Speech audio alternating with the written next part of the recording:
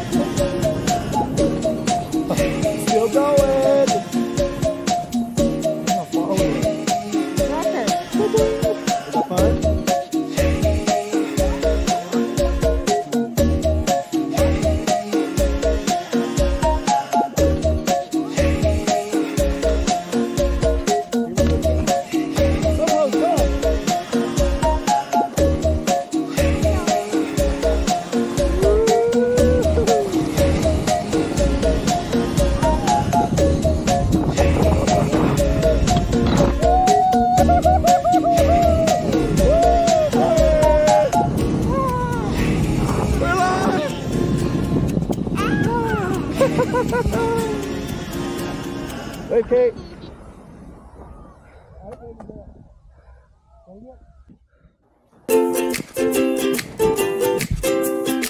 Try to keep it somewhat okay?